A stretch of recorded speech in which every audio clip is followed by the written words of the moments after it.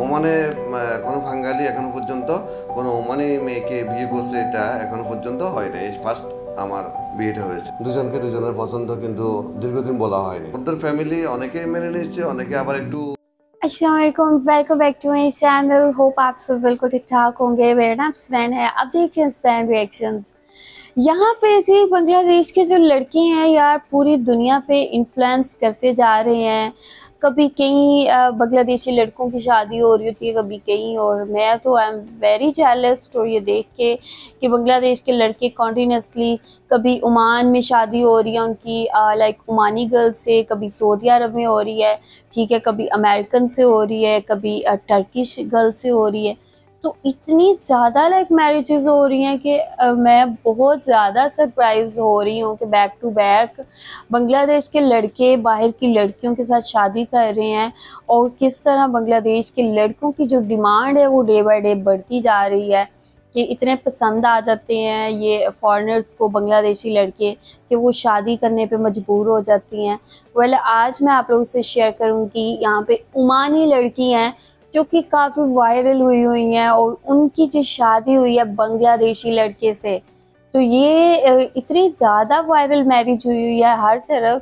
So I thought कि यार आप लोग उससे देखते हैं कि ये मैरिज जो है कैसे हुई है और क्या इसके लाइक पीछे बैकग्राउंड और आगे इसके बारे में मज़ीद डिटेल्स आप लोगों के साथ शेयर करेंगे। ये वीडियो आप लोगों ने देखनी है अभी मेरे साथ। काफ़ी इंटरेस्टिंग वीडियो है। So I am very excited कि आप लोगों साथ ये शेयर करूँ और मुझे भी थोड़ा सा कुछ पता चले कि आखिर क्या वजह है कि बांग्लादेश के लड़के हर किसी को पसंद आ रहे हैं। लाइक like, बांग्लादेश के लड़के अच्छे हैं नो डाउट बहुत अच्छे हैं। लेकिन वजह भी तो पता चले ना अच्छा कौन सी वजह है जो कि लड़कियाँ देखती हैं बांग्लादेश के लड़कों के अंदर?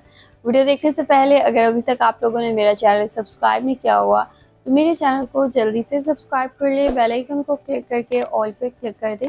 ताकि जब भी मैं वीडियो अपलोड करूँ आप लोगों को सबसे पहले नोटिफिकेशन मिले वीडियो को जो लाजमी लाइक कर दिया करें आप लोग वीडियो लाइक करते हैं तो उससे हमें पता चलता है कि आपको वीडियो पसंद आ रही है सो चलते हैं देखते हैं वीडियो लेट्स गो ওমানে আহ, কোনো বাঙালি এখনো পর্যন্ত কোনো ওমানি মেয়েকে বিয়ে করছে এটা এখনো পর্যন্ত হয় না এই ফার্স্ট আমার বিয়েটা হয়েছে দুজনকে দুজনের পছন্দ কিন্তু দীর্ঘদিন বলা হয়নি ওদের ফ্যামিলি হ্যাঁ। অনেকে মেনে নিচ্ছে অনেকে আবার একটু মানে আমার সাথে একটা তেমন একটা ক্লোজ এখনো হয় নাই इफ्रा आई थिंक इफ्रा नाम था लड़की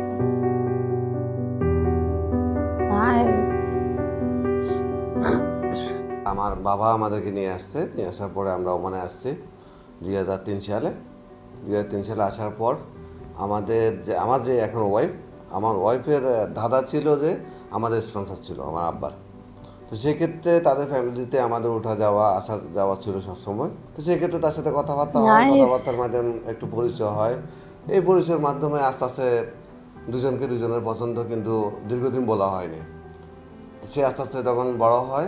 বড় হওয়ার পরে পরবর্তীতে যখন সে একটা ম্যাচিউর হয় বুঝতে পারে সব কিছুই সেক্ষেত্রে তখন হঠাৎ করে আমাদের দুজনের মাঝে যে ভালোবাসা কিছু কথাবার্তা একটু আকার ইঙ্গিতে বলা হয় সেক্ষেত্রে তখন সে আমাকে অফার করে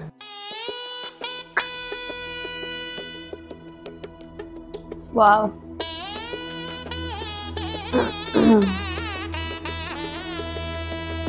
अच्छा ओमान में भी सेम मैरिजेस है लाइक जैसे सऊदी अरब में होते हैं सेम स्टाइल है দীর্ঘদিন আমাদের এই সম্পর্ক থাকে এর মধ্যে প্রায় আমাদের পনেরো বছর সময় কেটে যায় গত বছর আমি আমার বিয়ে সম্পূর্ণ সরকার থেকে গভর্নমেন্ট থেকে যে কাগজপত্র দরকার পড়ে, ওই কাগজপত্রগুলো আমরা দুই হাজার বাইশ মেয়ের আঠাশ তারিখে আমাদের কাগজপত্রগুলো পাই।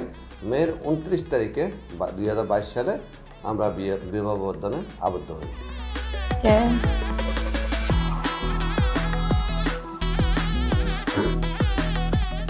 এখন মানে এই যে বিবাহ বন্ধ এটাও নাকি ছিল না। দোলাচল ছিল এইখানে ছিল মানে কোনো হাল ছাড়েননি? না, আসলে আমাদের যখন রিলেশন হয়, তখন থেকে তাদের ফ্যামিলিগতভাবে কেননা এখানকার সবচেয়ে বড় ফ্যামিলি যারা, তারা হচ্ছে যে তা- তাদের ফ্যামিলি তো সেই ক্ষেত্রে আমাদের অনেক মানে আমার অনেক সমস্যা হয়, এবং কি বিভিন্ন ধরনের হুমকি দামকি আসে। এর পরবর্তীতে এগুলো আসলে আমরা দুজনেই তোকা করি না, তারপর আমাদের যে রিলেশন আমাদের যে সম্পর্ক, সেটা আমরা কন্টিনিউ করে গেছি।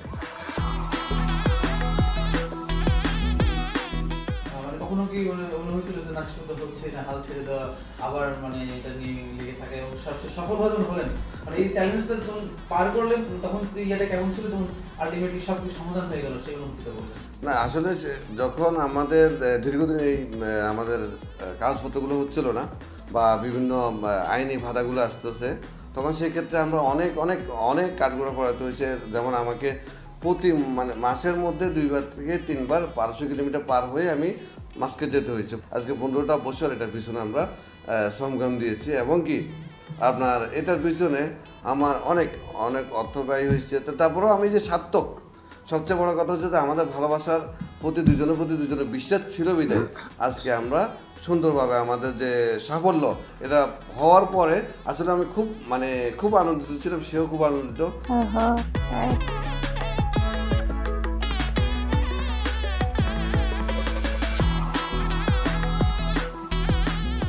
বাঙালি মানে বা পরিবারে ওমানি পুত্র বধূ বা ওমানি পরিবারে বাঙালি জামাই মানে বাংলাদেশের জামাই এইটা কেমন অনুভব করবে এটা কেমন একটা সময় বলুন এই সময়গুলো আসলে একটা কথা বলতে কি তাদের ফ্যামিলিতে অনেকে এখনো মেনে নিতে পারে না কেননা উম, আহ, যারা আমরা আরব গাল্পে আছি তো অ্যাকচুয়ালি তারা আমাদেরকে আমরা যত কোটি টাকার মালিক হই যত বিজনেস ব্যবসায়ী মালিক হই না কেন তাদের কাছে আমাদেরকে অন্য চোখে দেখা হয় ওদের ফ্যামিলি অনেকেই মেনে নিতে ओके जी अ, ये वीडियो आप लोगों ने देखी है यहाँ पे इसी किस तरह ये दोनों लोगों ने लाइक इन दोनों ने एक दूसरे को पसंद किया और फिर उसके बाद जब फैमिली में बात चली और फिर जो है बात जो है बहुत जल्द शादी तक आ पहुँची और लाइक इन्होंने अपना पूरा लव स्टोरी जो अपनी शेयर की है तो लाइक काफ़ी इंटरेस्टिंग मुझे लगी है और फिर इन्होंने अपनी फैमिली को किस तरह ओमान में बुलाया। बहुत भरी तादाद में इनकी फैमिली के लोग थे जिन्होंने ओमान आना था, ठीक है, और फिर इस तरह इनकी शादी जो है हुई है। कि इस तरह फिर इनकी शादी हुई है, काफ़ी बड़ी तादाद में जो फैमिली मेंबर्स हैं, वो ओमान आए और फिर काफ़ी लैविश किस्म का फ़ंक्शन है जो वहाँ पे ऑर्गेनाइज हुआ। पर मुझे बहुत अच्छा लगा कि लाइक बांग्लादेशी लड़के आए, रोज़ जो हैं लाइक बाहर की लड़कियों को ठीक है, उनसे शादी करके बांग्लादेश में लेके आ रहे हैं। तो डैट इज़ अमेजिंग और बांग्लादेश के लड़के यार अच्छे होते हैं। मैं तो हमेशा बांग्लादेश के लड़कों के बारे में कहती हूँ कि बहुत ओबीडियंट होते हैं लाइक लविंग होते हैं केयरिंग होते हैं। तो यही चीज़ें होती हैं जो लड़कियों को पसंद होती हैं, ठीक है? तो बड़ा अच्छा लगा है आई एम श्योर आप लोगों को भी देख के अच्छा लगा होगा। ये पूरी की पूरी स्टोरी आप लोगों ने भी एक दफ़ा मेरे से शेयर कर देनी है, ताकि मुझे इन डिटेल जो है सही से समझ आ जाए। आप लोग लाजमी बताएँ कमेंट सेक्शन में मुझे। वीडियो को आप लोगों ने लाजमी लाइक करना है। लाइक का बटन सामने उसे जल्दी से क्लिक कर दें। वीडियो को लाजमी शेयर करना है। अपने फ्रेंड्स और फैमिली के साथ मेरे चैनल को सब्सक्राइब नहीं किया हुआ। मेरे चैनल को जल्दी से सब्सक्राइब कर लें, बेल आइकन को क्लिक करके ऑल पे क्लिक कर दें, ताकि जब भी मैं वीडियो अपलोड करूँ, आप लोगों को सबसे पहले नोटिफिकेशन मिले। अगर आप लोग मुझे फॉलो करना चाहते हैं तो आप मेरे व्हाट्सएप का ग्रुप है, वहाँ पर मुझे ज्वाइन कर सकते हैं। अब see you guys take care अल्लाह हाफिज़.